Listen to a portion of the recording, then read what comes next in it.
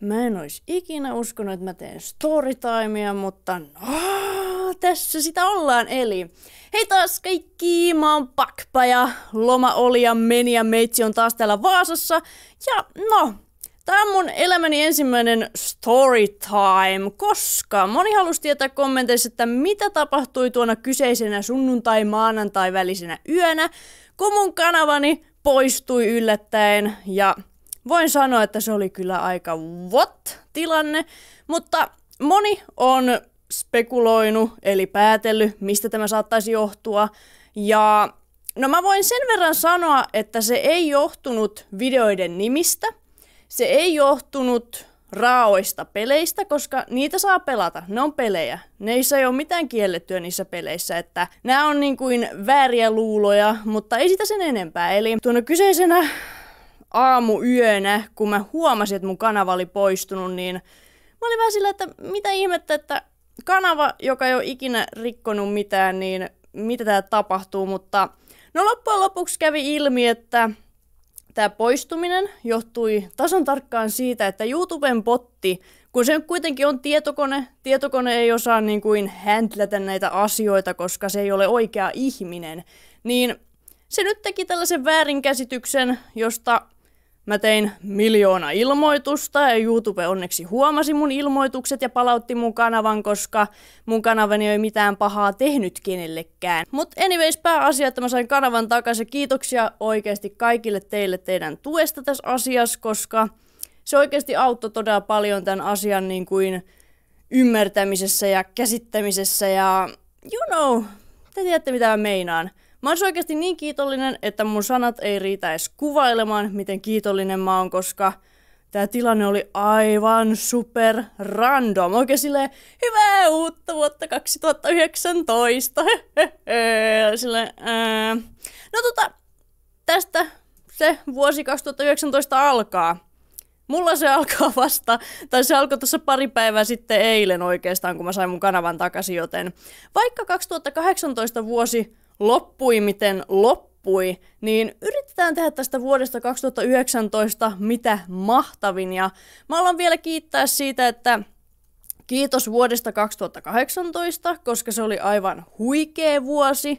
Niin kuin aivan tajuttoman huikea vuosi, joten tehdään tästä vielä parempi vuosi tästä 2019 vuodesta, eikös jookos?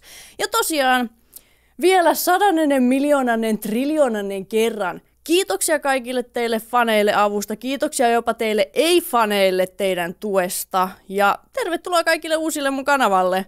Nimittäin teitä on tullut aika paljon uusia tässä tämän draaman aikana. Ja vielä tähän ää, tota mun loma tosiaan. Mä en tosiaan mun vanhemmilla koko loman. Ja näin mä oikein, mä otin rennosti ja chillasin ja tälleen ja No ne viimeiset päivät, ne ei nyt ollut oikein chillejä, mutta muuten se oli ihan, ihan jepa, ihan jepa. Niin kuin, ei mitään kovin ihmeellistä. Ja moni varmaan kysyy, mitä mä sain lahjaksi, koska te olette kysynyt ja mä oon osalle vastannut, mutta sitten taas osalle mä en ole, koska niitä kommentteja on miljoonia ja ne menee niin helposti ohitse. Mutta niin, mä sain espressokeittimen suklaata, hajuveden, nyt mua katkeilee ajatus, mitä mä sain PS4, öö, ää, saippua, shampoota, suklaata, jädä jädä, tällaisia asioita, joten, joten ihan aika perus semmosia kivoja lahjoja. Kertokaa ihmeessä kommenteissa, mitä te saitte, koska täällä on ihmisiä, joilla ei ole Insta tai Snappia, ja se on oikeastaan huono puoli just siinä, että mä näistä, esim. mun kanava-asia, mä siitä kerroin Snapissa ja Instassa, ja sitten taas te, joilla ei ole kumpaakaan, niin tähän olette täällä YouTubessa aivan tietämättöminä. Ja se on niinku, se on ehkä kauhein tilanne, että mä en pysty teille kaikille kertomaan, että mikä tämä tilanne on. Mutta onneksi mä sain mun kanavan takaisin ja mä pystyn kertomaan teillekin nyt täällä, että mitä oikein tapahtui oikeasti. Kertokaa, mitä te saitte lahjaksi, mitä teette lomalla, mitä teette uutena vuotena. Mä en ampunut raketteja, koska uh, I gonna die. Mun koirat ei kestä raketteja, joten mä en niitä ampunut, koska Mä en oikeastaan ikinä uutena vuotena ampunut. Mä valaan vaan tinaa vanhempien kanssa. Ja hassua on se, että mä en ole taikauskonen ihminen, mutta nyt mä taidan olla aavistuksen taikauskonen, koska kun mä valoin tinaa, niin mä sain kalan. Ja siinä jutussa luki, että kala meinaa hyvää onnea tai niinku hyviä uutisia ulkomailta.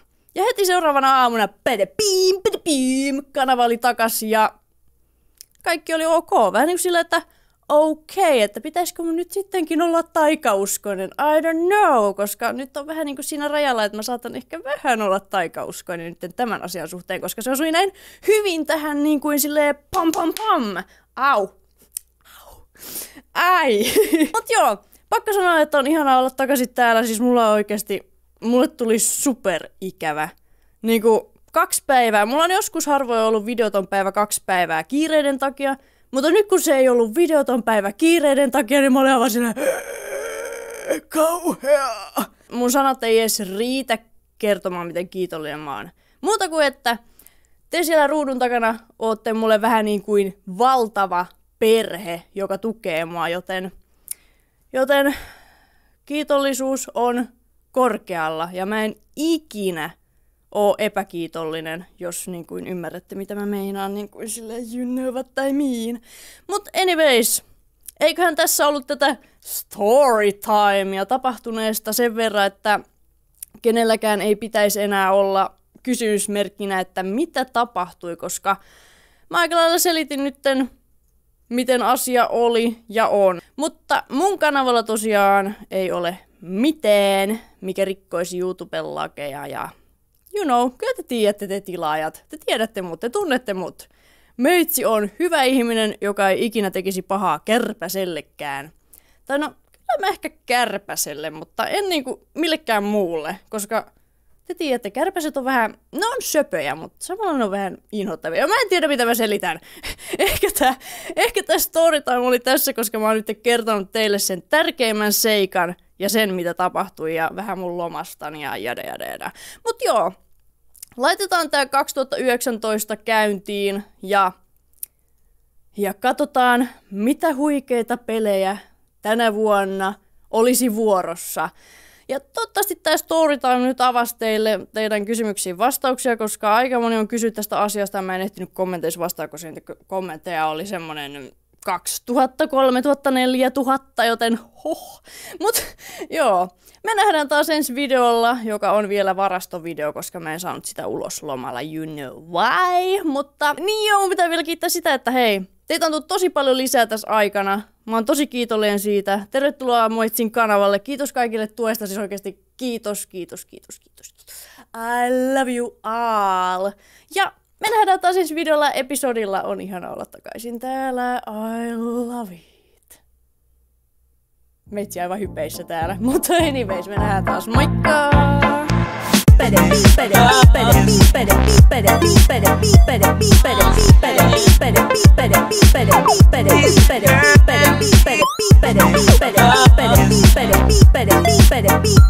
better, better, be better, be better, be better, be better, be better, be better, be better, be better,